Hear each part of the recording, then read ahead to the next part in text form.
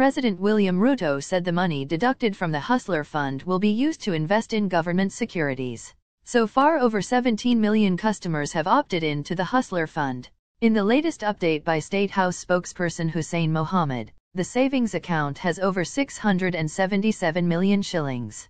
So far, 13.6 billion shillings have been disbursed to the fund users, with 5.9 billion being repaid.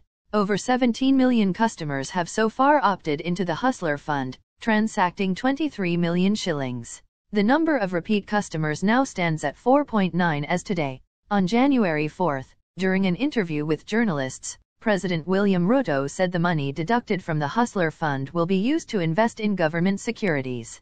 Government securities are the surest. There are no default or other problems, he said. Ruto said the government has come up with an organization which has been licensed by the RBA to manage the savings. The amount is approximately 700 million as of today, and will be managed by the organization, he added. The president said that once the investments begin, everyone who has to save through the Hustler Fund will be able to view the amount saved through an application.